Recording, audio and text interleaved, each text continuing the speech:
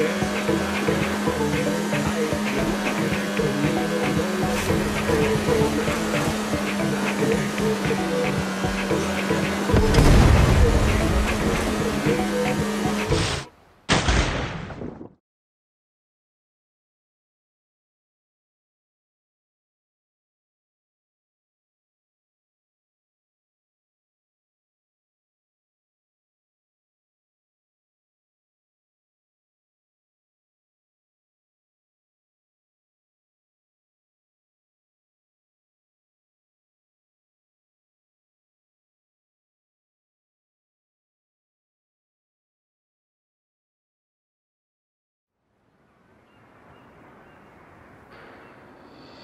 Despite the tragedy, the company promises that its secretive new resort park will soon be open to the public.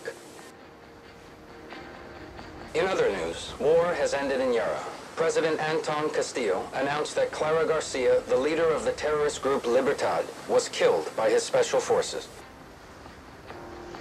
And as the pandemic tightens its grip on the globe, the federal government may impose another nationwide lockdown. But first, how about something a little more upbeat?